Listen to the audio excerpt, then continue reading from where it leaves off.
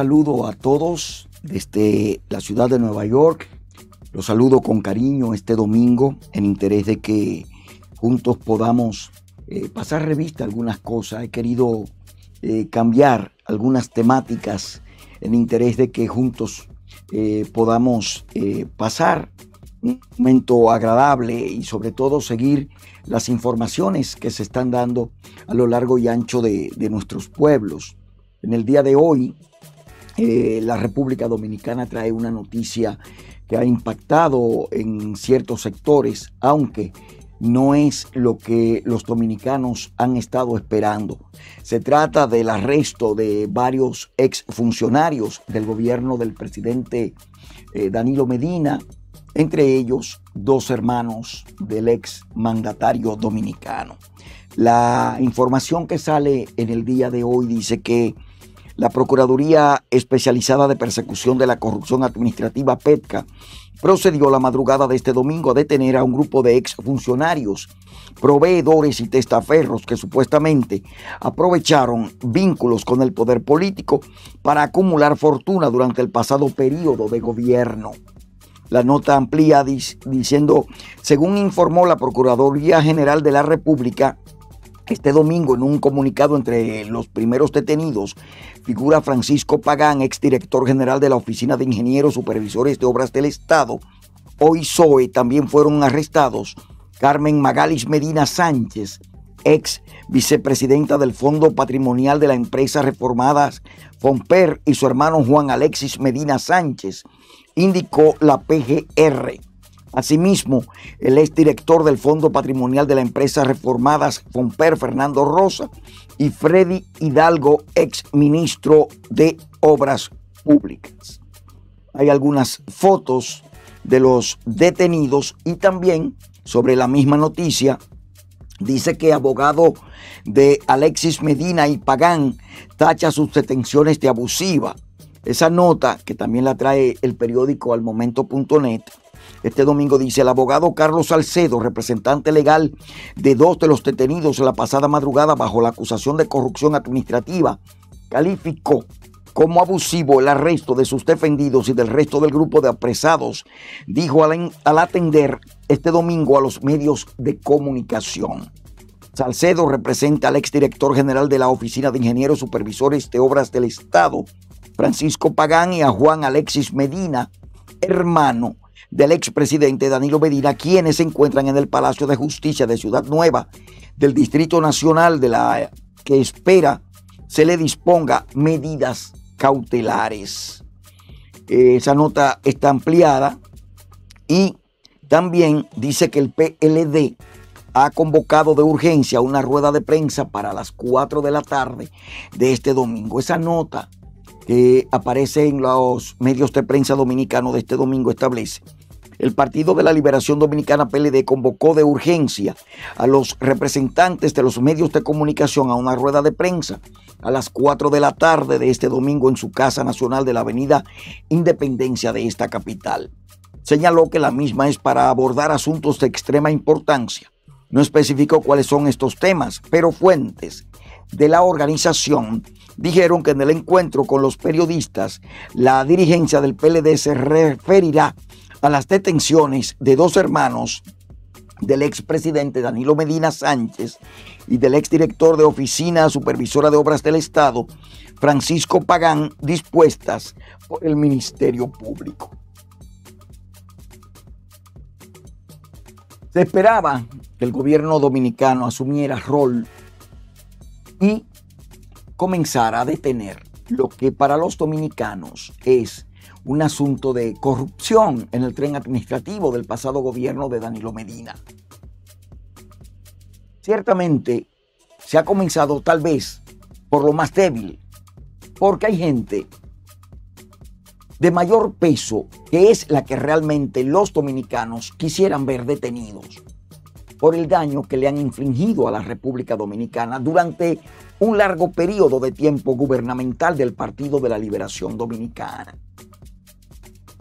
Si bien es cierto que este es un gobierno blandengue, lo que estamos viendo este domingo no es más que pan y circo. un espectáculo montado por el gobierno de Luis Abinader, que es afín al gobierno del Partido de la Liberación Dominicana, tanto de Leonel Fernández como de Danilo Medina. Si se quería hacer un trabajo serio y honesto desde la Procuraduría General de la República, debieron no comenzar por los chichiguaos. Estas son migajas de la fábrica de corrupción que produjo el PLD con el apoyo de los PRMistas en las cámaras legislativas dominicanas. Si lo que se quería era hacer un buen trabajo para devolverle al país la fe perdida y regalarle como Navidad un ejemplo, se debió buscar otras personas. ¿Por qué no comenzar por Jean Alain Rodríguez? ¿Por qué no seguir con el Penco Castillo? ¿Por qué no detener al propio Danilo Medina? ¿Por qué no hacer preso a Monchi Fadul? A una serie de figuras que desangraron a la República Dominicana. Pero no, era más fácil para el gobierno de Luis Abinader amanecer este domingo 28 o 29 más bien de noviembre con un espectáculo de muy mal gusto. Nosotros hemos dicho en esta misma plataforma que Luis Abinader y su gobierno no van a hacer muchas cosas, aunque Luis es un encantador de serpientes y lo ha estado demostrando en 100 días de gobierno. Muchos dirán, algo es algo, pero hay gente más grande que los dos hermanos de Danilo que cayeron presos y estas dos figuras más. El caso de otro de los hermanos de Danilo que prefirió irse a Guatemala. Y no se sabe si el gobierno dominicano ha hecho las solicitudes a la Interpol para que este hombre sea detenido y devuelto al país. Simple y sencillamente, hemos amanecido este domingo con un nuevo show mediático de los que nos tiene acostumbrado el politiquerismo, politiquerismo dominicano a lo largo y ancho de muchos años. El país ha sido golpeado históricamente. El país ha sido prácticamente secuestrado por una pandilla de delincuentes que se metieron a políticos. Y si bien es cierto que este gobierno no hará nada, no menos cierto es que pasaremos cuatro años con este tipo de espectáculo. Hemos visto a un presidente más bailarín que es responsable para resolver problemas. No ha sido lo suficientemente honesto con los dominicanos. Y lo que hoy acabamos de ver a lo largo y ancho de la información que va surtiendo efecto a medida pasan las horas, no es más que un nuevo espectáculo al que nos tienen acostumbrado ellos. Ellos, los que se apandillaron para destruir la nación. Ellos, los que día a día hacen cosas para que el dominicano se vea más acorralado y pueda disfrutar más de la bochinchería y la chismografía, porque no hay el interés de sanear, pero mucho menos de rescatar los recursos que un grupo de bandidos se llevaron desde el solio presidencial. Si se quiere hacer un trabajo serio, se debe comenzar desde los tiempos de Hipólito Mejía hasta la fecha y hacer el trabajo que se debe hacer y rescatar los recursos que se han llevado a un grupito que de la noche a la mañana se hicieron ricos antes de lo que la lógica indicaba. Gentes que no podrán demostrar bajo ningún concepto la realidad de la que se está viviendo hoy. Quiérase o no, lo que ha sucedido este domingo en la República Dominicana no es más que un tate quieto. Si la justicia dominicana quiere hacer un buen trabajo en la persona de doña Miriam Germán, debe comenzar por los orocones y dejar los chiquitos para el final. Comenzar arriba y comenzar a poner ejemplo arriba. Es el mismo caso que se da con Odebrecht. Ahí no van a pasar cosas como nosotros quisiéramos que pasen, porque no hay el interés, no hay el deseo, no hay la iniciativa de trancar a una serie de figuras que son intocables en la República Dominicana. En tal sentido, yo pienso que lo que ha acontecido este domingo no es más que un show mediático orquestado desde la Procuraduría General de la República con la anuencia del Palacio de Gobierno que necesita un ingrediente porque la gente está cansada, está saturada y este gobierno no ha podido prender como no prenderá porque se han cometido muchos errores uno tras de otros.